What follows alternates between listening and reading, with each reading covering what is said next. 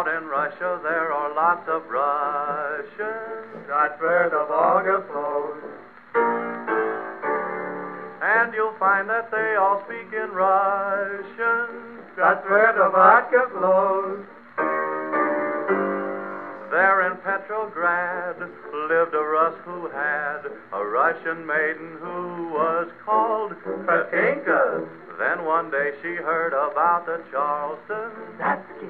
From a Yankee lad she learned a Charleston. Hotsky. She left Petrograd with this Yankee lad, left a Russian sadly crying. My sweet Katinka, oh where can she be? I loved her so, how could she go? Who thought Katinka would pack up on me?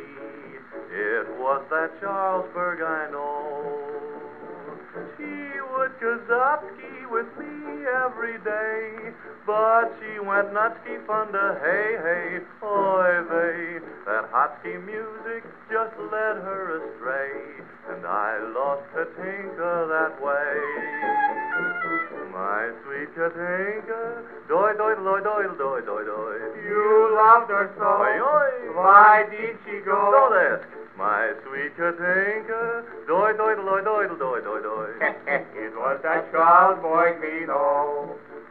Well, fifteen kawatki she earned every day till she went nutsky funder, hey, hey, boy, they. Pete, Pete, Gavatsky, 10 cents a day. Doi, doi, doi.